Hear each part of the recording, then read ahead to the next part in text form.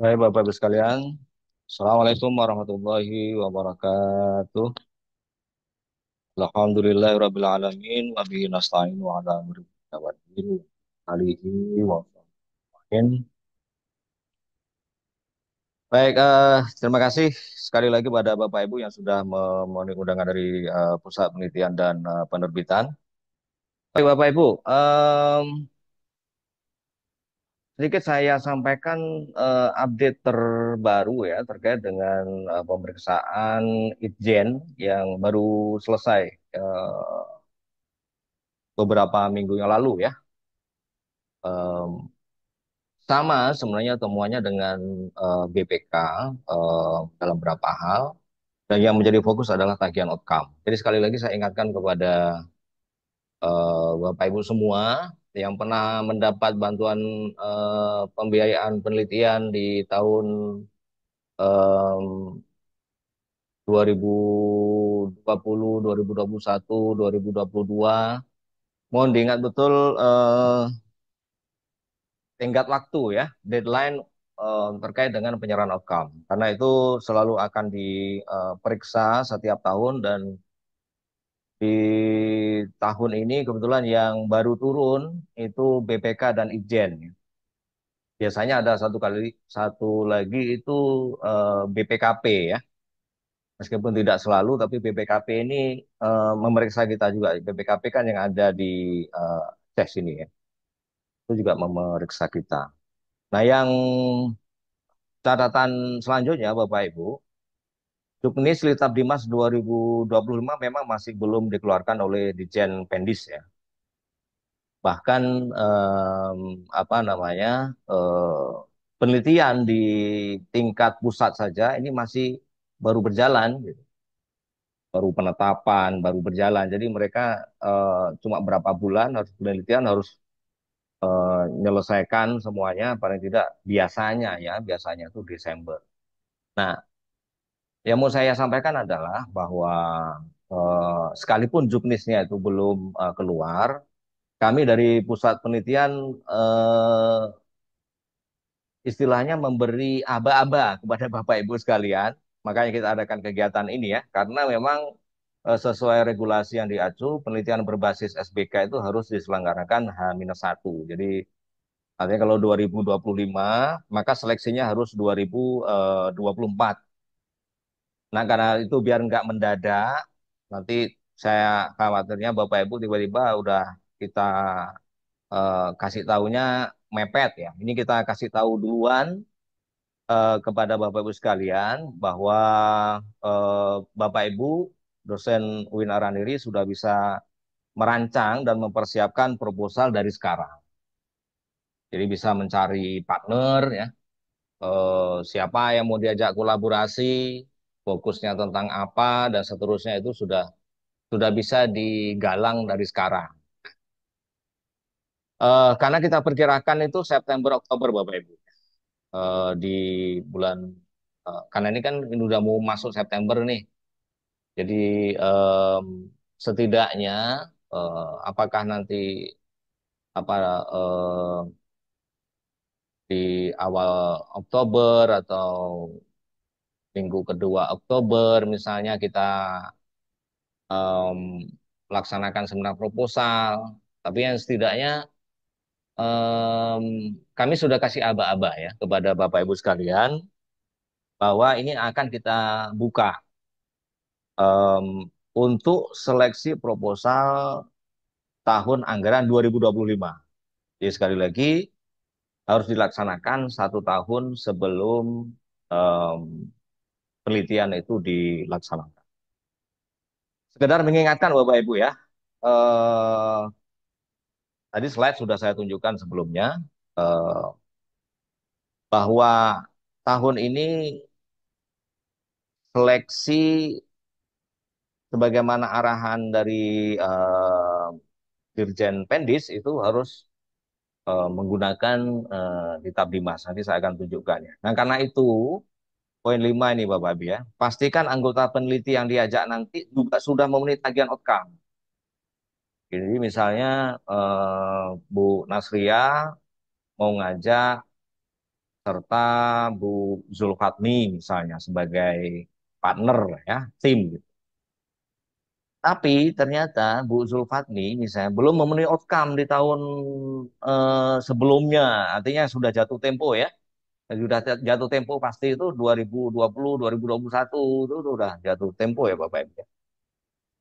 Jadi kalau misalnya belum memenuhi outcome, maka akan terblok nanti langsung di Lita Bimas itu akan diblokir. Jadi eh, harus timbang-timbang juga nanti pastikan yang diajak itu waktu mengakses eh, akun Lita Bimas tidak muncul blokir ya. Jadi kalau misalnya eh, ada notifikasi waktu buka Lita Bimas mau masuk, udah masukkan username, eh, masukkan password, tiba-tiba muncul notifikasi eh, Anda terdeteksi apa namanya eh, belum memenuhi outcome, itu berarti masih bermasalah gitu. Jadi em, apa namanya eh, itu harus di. Nah, Bapak Ibu sekalian, eh, ini ada surat eh, tertanggal 31 Juli ya eh, 2024 eh, surat dari Dirjen eh, Pendis yang ditandatangani Direktur Pendidikan Tinggi Keagamaan Islam Pak Ahmad eh, Zainul Hamdi ya eh, tentang kebijakan tata kelola bantuan Lita Blimas pada Satker eh, PT KIN. Jadi eh, isi surat ini ini saya hanya cantumkan yang eh, penting saja menurut saya ya bahwa semua penyelenggaraan penelitian, publikasi ilmiah, pengabdian pada masyarakat ya yang sumbernya itu entah dana dari BUPTN, entah PNBP, entah BLU, yang semua itu masuk DIPA, istilahnya masuk DIPA UIN Araniri. Um, ya, untuk 2025, artinya seleksinya di tahun ini, wajib menggunakan portal Litab Dimas. Jadi di litabdimas.kemenak.go.id. Ini sebenarnya agak memusingkan juga ya, Bapak Ibu ya. Bukan hanya kita tentunya, teman-teman yang lain di PTK lain pun agak pusing juga nih, karena di periode sebelumnya dulu itu kita dikejar-kejar suruh bikin portal sendiri di kampus gitu. Dan kita di UIN Araniri selama ini sudah memiliki portal Litmas gitu ya.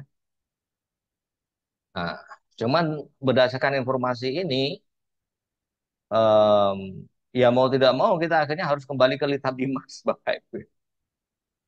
Nah, karena di Litab Dimas ini saya ingatkan uh, Bapak Ibu ya, ini ini peristiwa yang sering terjadi. Nantinya Bapak Ibu jangan menunggu deadline terakhir. Itu kalau sudah deadline terakhir, misalnya kan yang mengakses ini seluruh Indonesia Bapak Ibu ya. Jadi perguruan tinggi keagamaan Islam negeri maupun swasta ya itu nyerbunya ke Lita Bimas. Jadi bisa dibayangkan misalnya pada satu waktu itu nanti diserbu ribuan dosen gitu ya bisa apa namanya kolaps seperti yang pernah terjadi ya. Nah sebenarnya dulu ide untuk apa namanya membuat uh, portal di Satker di saya Win Araniri bikin, kemudian Win Surabaya, Win Malang, setahu saya ada beberapa ya, dan enam atau tujuh ya, termasuk Jakarta ya. Itu tujuannya untuk mengurangi beban di Tabdimas ya. Hanya saja mungkin eh, sejauh yang saya tahu dari pembicaraan eh, pertemuan kepala pusat penelitian ya, eh, di akhir 2000 akhir tahun lalu lah ya. Gitu. Itu memang di beberapa perguruan tinggi itu terjadi eh, konflik ya antara LP2M dengan fakultas. Kenapa? Karena fakultas itu melaksanakan penelitian dan pengabdian kepada masyarakat ya dengan dana BLU yang mereka tidak terekam datanya di dalam sistem ya Dimas ini gitu. Sehingga menjadikan apa? Sehingga menjadikan ketika eh, Diktis itu meminta data, ini kan ber apa berserakan ya di mana-mana gitu ya. Jadi akhirnya untuk apa namanya menyatukan kembali semua diarahkanlah ini harus balik ke Litab Dimas. Ya semoga saja Litab Dimasnya tidak berangin ya Bapak Ibu ya. Semoga semakin diperkuat lah dengan dana dan uh, SDM-nya ya. Ya kalau kita suruh kembali ya sudah kita kembali. Tapi yang perlu diperhatikan ini termasuk pengabdian uh, pada masyarakat yang dilaksanakan di fakultas ya. Ini diarahkan untuk balik ke Litab Dimas. Jadi harus ada timeline nantinya, termasuk misalnya pengabdian internasional yang um, dilakukan di fakultas-fakultas. Itu kan harus menurut surat ini harus masuk prosesnya itu mulai dari seleksi ya. Tahapan-tahapan ada munef ada seminar antara seminar hasil dan seterusnya prosesnya itu mengikuti tahapan yang ada di dalam standar uh, Litab Dimas. Nah, Bapak Ibu sekalian, uh, sekali lagi menyauti surat tadi, nantinya kita akan uh, apa namanya menggunakan Litab Dimas ya. Jadi kalau sebelumnya kita 2023 dan 2024 termasuk yang sedang berlangsung ini, kita kan pakai litmas litmas.araniri uh, ya itu .id ya. Um, itu kan sudah kita jalankan. Makanya tetap di situ nanti pelaporan outcome-nya khusus yang ini harus yang 2023-2024 itu harus melalui Litmas ya Bapak Ibu ya. Tapi untuk berikutnya lagi ini kita balik ke Litab Dimas ya. Memang agak membingungkan tapi apa boleh buat lah kita. kita jalan karena nanti repot nanti. Nah ini Bapak Ibu tampilannya di tab Dimas. Jadi selama ini kan kita pakai litmasaraniri.ac.id ya. Tapi ini nggak kita pakai lagi, kita akan beralih ke litabdimas.kemenak.go.id. Balik lagi ke awal lagi. Ini yang kami acu Bapak Ibu, sekali lagi yang kami tunjukkan nanti, ini adalah masih sementara, rancangan sementara. Kemungkinan berubah bisa jadi ya, karena juknis di, di dikti sendiri belum uh, belum belum keluar sampai saat ini gitu. Um, tapi perubahan itu biasanya perubahan apa nama klaster dan seterusnya ya itu bisa kita sesuaikan. Tapi yang jelas uh, namanya penelitian ya sesuai bidang Bapak Ibu nanti tentunya tidak boleh lepas dari arkan ya arah riset uh, kajian uh, arah riset kajian keagamaan nasional gitu ya. Nah ini Bapak Ibu, ini yang saya tunjukkan. Sekali lagi ini masih tentatif ya. Diperkirakan 109 uh, judul. Kemudian uh, maksimal dana seperti tertera di sini. Tapi ini sekali lagi masih tentatif. Bisa jadi kalau bertambah mungkin masih uh, kecil kemungkinan, tapi berkurang mungkin iya. Karena begini Bapak Ibu ya. Uh, sekitar dua minggu yang lalu apa ya? uh, saya itu dihubungi bagian perencanaan. Ya, tiga minggu yang lalu. Bagian perencanaan. Kemudian disampaikan, Pak Anton ini ada perkembangan terbaru. Usulan untuk penelitian 2025. Uh, kan plotnya itu kan sekitar 3 miliar berapa aja ya. Itu sudah dikurangi lagi Bapak Ibu. Dikuranginya itu sekitar 900-an juta kalau nggak salah. Jadi artinya sudah berkurang lagi, sudah sedikit dikurangi lagi ya. Jadi mau tidak mau kita butuh penyesuaian ini nantinya Bapak Ibu ya, biar lebih banyak yang dapat. Kemungkinan ada beberapa yang eh, ya disesuaikanlah, dikurangi lagi ya.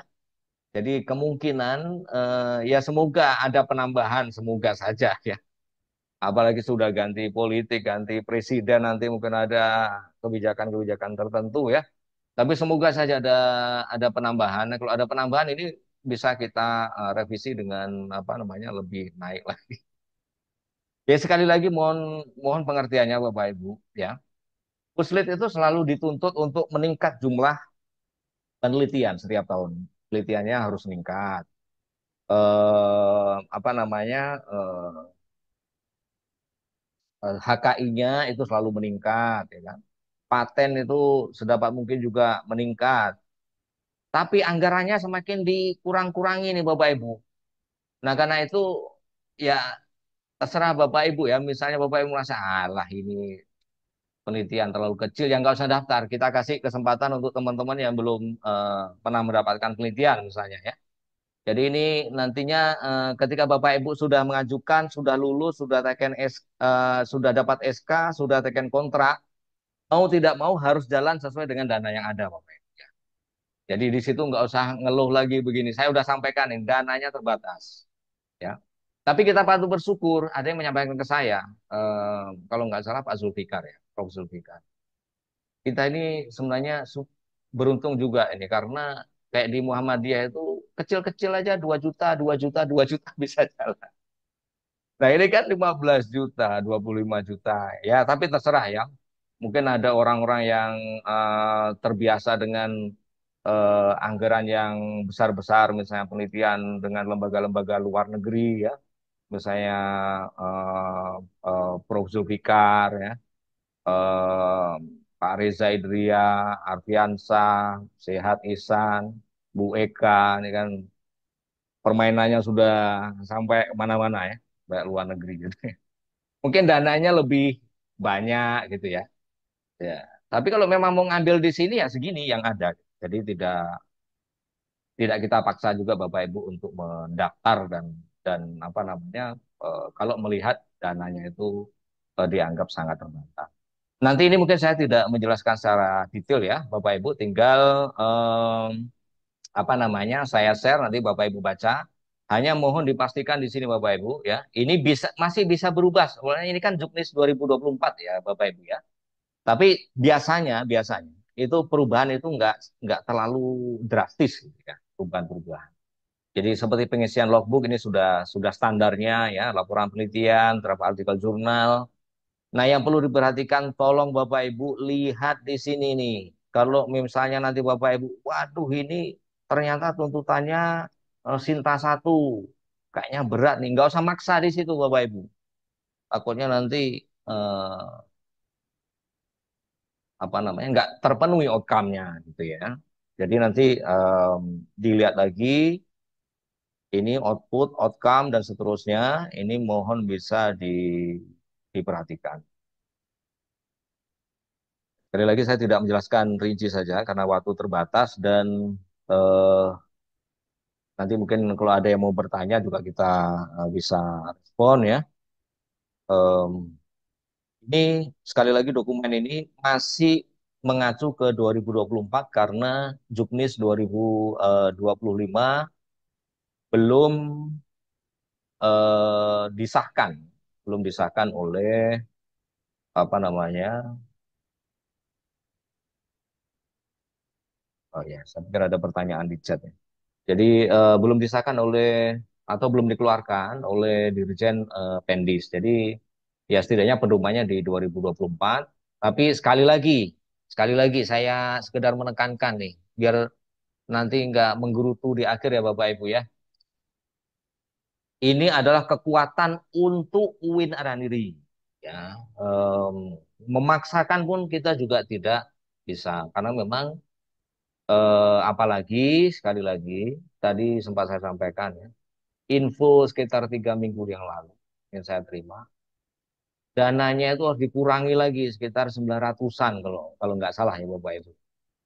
Jadi dana rancangan ini kan sudah kita kasih bulan 5 yang lalu sebenarnya uh, untuk 2025 ya sudah di, disetujui setelah rapat ada SPI, LPM di Warek 2 nanti sudah kita koordinasikan sudah setujui. Nah kemudian tiba-tiba ada pengurangan, nah ini yang di luar kuasa kami. Jadi kami juga uh, mohon dimaklumi ya, bukan saya sengaja me mengurang-urangi, nggak ada urusan itu. Karena uang juga nanti nggak masuk ke uh, rekening peneliti ya, tidak ada yang mampir ke kami. Nah, itu saja Bapak Ibu uh, untuk pengantar. Sekali lagi tujuan kami adalah memberikan aba-aba kepada Bapak Ibu. Silakan dipikirkan dengan ketersediaan dana yang ada, apakah mau diambil atau tidak. Apakah tertarik untuk meneliti dengan dana yang sedemikian rupa ini? Kalau tertarik, Silakan ikuti ketentuan-ketentuan yang eh, selama ini eh, sudah kita berlakukan. Di antara beberapa hal yang juga mohon untuk bisa di diingat ya Bapak Ibu ya. Em, biasanya di dalam seleksi administrasi banyak yang alfa itu begini Bapak Ibu. Kita ini kan double double blind. Tujuannya itu biar yang review itu tidak tahu siapa yang direview. Ya, yang artinya reviewer tidak tahu siapa reviewee ya gitu yang yang direview. Orang yang direview tidak tahu siapa review. Nah, karena itu eh, proposal sebagus apa pun kalau Bapak Ibu masukkan masih ada nama, nampil nama, kemungkinan tidak lolos di administrasi Bapak Ibu. Karena itu sudah standar di kita ya. Jadi sedapat mungkin diingat itu Bapak Ibu, karena ada yang komplain kan. Kantor masa eh, saya hanya lupa taruh nama aja nggak lulus. Ya memang sudah standarnya seperti itu, sudah, sudah kita ingatkan ya Bapak Ibu ya. Em, bahkan ada yang sebenarnya dekat dengan saya, saya juga mohon maaf ya pada teman-teman saya ya. Saya bukan, ya saya tidak kuasa juga enggak. Gimana saya mau, mau apa namanya, mau bantu ya. Karena memang sudah sudah masuk dalam sistem. Artinya yang mau saya sampaikan, mohon pengertian ya. Eh, ketentuannya seperti itu. Jadi kalau misalnya ada yang gagal di administrasi, entah karena pangkat, tolong perhatikan Bapak Ibu ya pangkat ya. Karena di setiap klaster ini ada pangkat-pangkatnya Bapak Ibu. Misalnya penelitian dasar nih, di sini hanya untuk asisten ahli, jangan nanti elektor kepala yang sudah guru besar, daftar di penelitian pembinaan, sebagus apa pun proposalnya akan tertolak. Jadi em, apa namanya ketentuan-ketentuan administrasi itu tolong diperhatikan, termasuk untuk cek turnitin Bapak Ibu. Silahkan Bapak Ibu, kalau turnitin di kampus kita ini kan sudah kita bagi ke prodi-prodi ini, dimanfaatkan itu Bapak Ibu. Dan mohon dipastikan ini yang sering sekali terjadi. Ya. Diingatkan jangan lupa no repository di waktu ngecek, oh, waktu orangnya ngecek. Gitu. Tolong dipastikan jangan lupa tul, uh, pilih no repository. Kalau sudah terlanjur, aduh ternyata uh, ini lupa gitu ya. Tolong filenya jangan dihapus Bapak Ibu. Ini ini sekali lagi saya ingatkan karena berkali-kali ini ya. Kalau sudah dihapus, ini yang terakhir kemarin dari Fakultas Adab kalau nggak salah ya. Jadi kasusnya itu ada mahasiswa mau sidang S3, ternyata setelah dicek turnitin udah 100%. Gara-garanya itu tadi lupa. Dan yang saya dengar, ya waktu di orangnya belum lapor langsung ke saya ya. Mohon maaf nih siapa yang di Fakultas Adab ya. Waktu sudah dicek, eh, ternyata yang saya dengar dokumennya sudah dihapus. Nah itu yang bikin pusingnya itu karena pusingnya kan harus ngurus lagi apa komunikasi ke Turnitin pusat ya. Ini gimana caranya gitu. Nah, karena itu saya mohon sekali Bapak Ibu, seandainya Bapak Ibu nurni, menur turnitin kan, memproses turnitin ya, proposal Bapak Ibu ke prodi, tolong diingatkan sama staf yang ngecek itu, jangan lupa untuk memilih no repository. Kalau itu lupa dan terlanjur, tolong jangan dihapus filenya. Ya. Nanti bagaimana? Nanti ada teknis yang cek Tunitin itu sudah pedoman kita share di grup Tunitin ya, Tunitin Winaran ini. Tinggal request untuk request uh, to delete paper ya, ya request deletion kalau nggak salah seperti itu. Jadi tinggal meminta nanti akan masuk ke admin, admin yang akan menindaklanjuti penghapusan itu dari repository Turnitin. Tuh, jadi turnit uh, maaf. Jadi waktu proposal Bapak Ibu nanti uh, sebelum diajukan, tolong diturnitinkan terlebih dahulu. Kalau misalnya lebih dari 35, tolong diperbaiki dulu, turnitin lagi, baru masukkan ke ini. Jadi uh, itu penting sekali karena ada yang uh, gagal juga di ya, terdeteksi Dan 35 itu sebenarnya masih masih luas ya Bapak Ibu ya. Kenapa 35 ya kita ngikut yang dari Jakarta gitu ya. Tapi itu itu hal yang mohon uh, diperhatikan. Baik Bapak Ibu, bentar. Ini uh, apa uh, dengarkan beberapa update yang mungkin uh, menambahkan dari apa yang saya sampaikan atau menegaskan atau mungkin ada hal lain yang mau disampaikan oleh Pak Amrullah selaku Sekretaris LP2M yang juga ikut hadir mewakili ketua di pertemuan eh, LP2M PTKIN se-Indonesia beberapa waktu lalu. Baik, saya persilakan Pak untuk menyampaikan hal-hal terkait. Ya, baik, terima kasih Pak Anton. Uh, Assalamualaikum warahmatullahi wabarakatuh. Uh, uh, terima kasih Bapak Ibu sekalian yang sudah berhadir di Zoom yang luar biasa ini. Uh, mengupdate sedikit bahwa uh, dalam pertemuan di Tangerang pada saat itu bahwa uh, disampaikan bahwa ada penekanan uh, ke depan 2025 seperti disampaikan Pak Anton tadi kita akan menggunakan semua yang pertama uh, kembali ke akun utama yaitu Litab Dimas. Jadi uh, feeder yang kita pakai sekarang Litmas ini mungkin bisa kita tunggu evaluasi dan keputusan dari Jakarta apakah memang akan ditutup total atau kita gunakan sebagai database saja. Nah, intinya yang disampaikan bahwa ke depan kita akan menggunakan akun Lita Dimas. Jikapun nanti eh, akan ada pengusulan proposal yang baru, nanti kita sesuaikan menggunakan Lita Dimas atau Litmas. Nah, yang kedua, eh, mungkin Bapak Ibu sekalian bisa ngecek di akun Lita Dimas masing-masing jika di akunnya ada keluar warna oranye atau merah itu merupakan tanda bahwa outcome-nya belum terpenuhi. Nah, eh, yang disampaikan dari pertemuan kemarin bahwa eh, warna merah yang keluar di akun Bapak Ibu sekalian itu merupakan peringatan awal jika uh, outcome-nya belum terpenuhi dua tahun yang lalu atau satu tahun yang lalu yang seharusnya tagihannya sudah dikeluarkan uh, uh, atau di, di upload. Nah, namun di tahun 2025 ke depan jika uh, Bapak Ibu juga belum menunaikan outcome-nya maka secara otomatis nanti akan diblok uh, dan tidak bisa mengikuti kegiatan penelitian atau pengabdian yang di bawah anggaran Kemenang.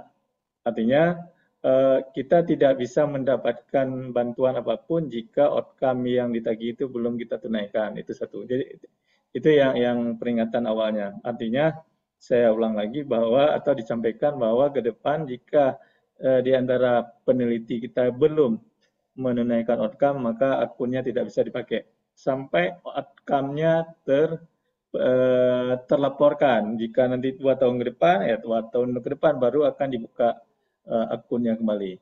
Nah, eh, yang terakhir bahwa eh, kita ke depan akan ada penelitian pengabdian yang terlinear dengan akun Litat Dimas.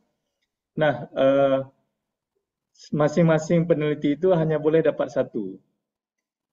Jika sudah mendapatkan penelitian di Satker di PTK, eh, di UIN, maka tidak boleh dapat di tingkat Kemenang Pusat. Demikian juga dengan pengabdian, jika sudah dapat di tingkat uh, UIN, maka tidak bisa di mendapat di tingkat Kemenang Pusat. Kecuali men, uh, menggunakan akun Lita Dimas, tapi anggarannya dari uh, luar Kemenang. Uh, di mungkin dalam bulan 9 nanti akan ada semacam sosial, sosialisasi uh, penelitian yang dari dinangi oleh LPDP kerjasama dengan Kemenak, tapi belum selesai juknisnya nanti akan disampaikan. Nah, jika hal itu di apa namanya sudah diumumkan, maka boleh jadi kita bisa mendapatkan atau boleh mengikuti program tersebut karena anggarannya tidak dari Kemenak, hanya dari LPDP. Nah, mungkin uh, penekanan saya mengulang lagi bahwa nanti ada penyesuaian-penyesuaian dari uh, Pak Anton selaku Kapuslit bahwa bagaimana apakah kita tetap menggunakan litmas atau kembali ke litadimas tahun depan uh, pada saat prosesi upload proposal mungkin di situ uh, akan disampaikan kembali. Uh, mungkin itu saja Pak Anton dari saya secara umum bahwa memang kita ada warning yang yang yang khusus dari Kemenak bahwa untuk seluruh litar dimas yang warna pink, uh, merah atau oranye itu maka harus segera dinaikkan. Mungkin itu saja Pak Anton. Terima kasih. Assalamualaikum warahmatullahi wabarakatuh. Assalamualaikum warahmatullahi wabarakatuh. Baik, uh, terima kasih Pak Amrullah uh, atas tambahan informasinya ya. Dan benar tadi yang disampaikan Pak Ulwa, saya juga mengingatkan ini ya, satu hal yang tadi saya garis bawahi. Dia tidak boleh ada penelitian yang double akun ya Bapak Ibu ya. Jadi artinya kalau sudah terima di Satker UIN, ya nggak mungkin ngajukan lagi yang untuk pusat karena memang apalagi lewat di Dimas ya. Kalau le lewat Litmas mungkin eh, bisa jadi orang ngakali tiba-tiba nanti dia lewat di Dimas ya. Tapi ketika ada satu kali Dimas itu nggak bisa lagi Bapak. Akan langsung terblokir ya. Jadi memang eh, itu juga riskan. Ya alhamdulillah diblokir ya. Kalau tidak nanti temuannya Bapak Ibu eh, pasti harus suruh kembalikan. Dan ketika suruh kembalikan ya susah Bapak Ibu. Misalnya temuannya nanti tahun 2028 misalnya. Oh, ditagihnya nanti sampai kita pensiun juga Bapak Ibu ya. Dan ini tentu yang uh, sudah pernah terjadi sebelumnya. Um, karena sampai sekarang ini masih ada berapa orang ya yang datanya itu uh, masih termaktub di dalam uh, da dokumen uh, Badan Pemeriksa Keuangan. Um, dan itu masih perlu diselesaikan. Demikian ya Bapak Ibu untuk sementara. Uh, oh ya, satu lagi saya kasih kesempatan. Uh, Irman, ada hal yang terkait dengan Litab Dimas yang mungkin uh, akan disampaikan, mungkin. Termasuk begini Bapak Ibu. Ada dosen-dosen yang mungkin uh, baru beralih ke UIN ya. Uh, itu ada yang saya verifikasi apa uh, sintanya itu ya. Nah, di di apa namanya eh, dalam berita Bimas itu seandainya Bapak Ibu belum punya akunnya, maka bisa juga lewat um, Irma, Pak Irman nih. Jadi bisa menghubungi Pak Irman yang ini saya kasih kesempatan untuk bicara. Ya, baik. Baik, terima kasih Pak. Hmm, Assalamualaikum warahmatullahi wabarakatuh. Baik, Bapak Ibu. Uh, jadi ada beberapa hal yang perlu saya sampaikan. Yang pertama tadi ya terkait dengan ada beberapa dosen yang baru pindah kemari. Bapak Ibu silahkan uh, melakukan uh, apa namanya pendaftaran di akun Nita Dimas Naraniri. Nah, ketika misalnya sudah dilakukan proses pendaftaran, ada beberapa um, problem yang pernah kita dapati di situ terkadang uh, eh, NIDN-nya sudah terikot di kampus lama. Nah, salah satu caranya silahkan Bapak Ibu buat uh, surat pemindahan akun. Nah, surat pemindahan nanti diserahkan ke saya, nanti saya akan teruskan ke uh, admin pusat seperti itu. Jadi nanti secara otomatis data Ibu tetap data lama, tetapi uh, satkernya aja yang dirubah oleh admin pusat. Jadi login segala macam itu tetap menggunakan akun nama hmm, Satker yang uh, diubah ke kebenaran ini. Kemudian yang kedua ini yang perlu kami sampaikan juga Bapak Ibu. Jadi terkait dengan pelaporan outcome. Nah, ketika saya mm, melakukan proses verifikasi, banyak sekali yang uh, outcome-nya sekarang itu yang dilingkan itu bukan link jurnal. Ya, tapi ada sebagian yang dilingkan LOE-nya. Kemudian ada juga uh, harusnya yang di link itu langsung ke artikel jurnalnya. Hmm, tetapi banyak juga yang tidak langsung di link ke artikel jurnal, tetapi di link link yang dimasukkan ke situ adalah link jurnalnya. Jadi mau nggak mau harusnya uh, proses verifikasi itu cuma uh, memakan waktu lebih kurang satu menit. Jadi kami harus melakukan itu lebih tambah lima menit lagi karena kami harus cek satu-satu itu di ini di jurnal yang link yang Bapak Ibu masukkan.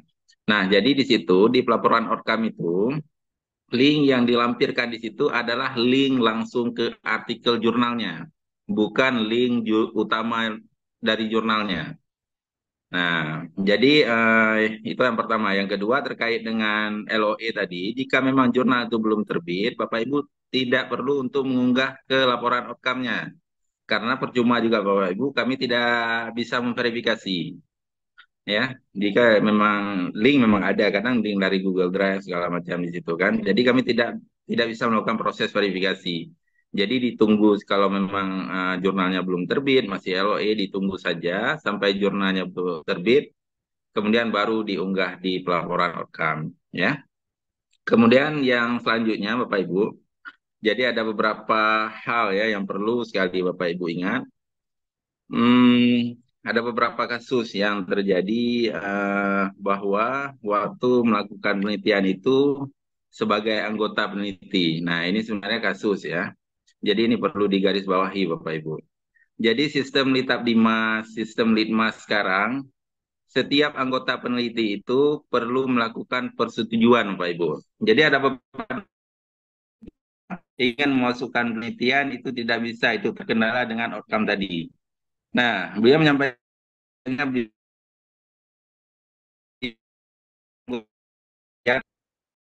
bahkan atau macam lah sebagainya alasannya kan. Jadi saya di sini korban. Nah, jadi kita juga bingung terakhir untuk menyelesaikannya karena memang terkadang ada kluster-kluster yang outcome-nya itu tuntutannya skopus. Jadi kan perlu waktu lama untuk terbit. Nah, sedangkan anggota peneliti kedua ini merasa beliau tidak eh, betul-betul uh, ikut serta dalam penelitian itu. Jadi ketika memasukkan sendiri, jadi uh, masih tersangkut uh, tagihannya di ketua peneliti. Nah, Bapak Ibu, jadi mohon maaf nih untuk ke depan karena banyak juga ya, in case ada beberapa mungkin yang ini ya. Banyak sekali kadang uh, dosen yang minta akun yang bukan milik sendiri ke kami. Jadi mohon di reset akun punya ini yang mana. Jadi imbasnya apa? Terkadang dosen yang dijadikan sebagai anggota peneliti itu terkadang uh, bukan tidak tahu ya, uh, tidak mungkin tidak tahu. Pasti si anggota si ketua peneliti ini sudah memberikan memberitahu sebelumnya bahwasanya akan dijadikan sebagai anggota.